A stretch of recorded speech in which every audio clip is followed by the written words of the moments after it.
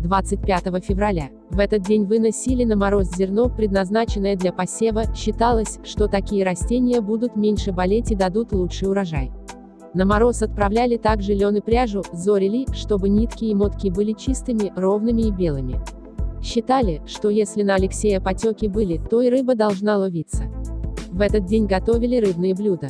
Заговоры 25 февраля. Заговор от бессонницы у взрослых. Бессонница полуношница. Не май меня, не до не май. По мягкой перине не мотай. С наугома на мне, Божьей рабе, имя, дай. Во имя Отца и Сына и Святого Духа. Ныне и присно его веки веков. Аминь. Приметы 25 февраля. Ночью был ини, днем жди снегопада. Пушистый ини, к хорошей погоде. Частые туманы в феврале, к дождливому лету. Луна ночью будто покраснела, жди завтра ветра, тепла и снега. Если дует ветер, а иния нет, быть бураном. Февраль холодный и сухой, август жаркий. Спасибо за поддержку канала. Я желаю вам в тысячу раз больше того, что вы мне пожелаете. Удачи вам и вашим близким.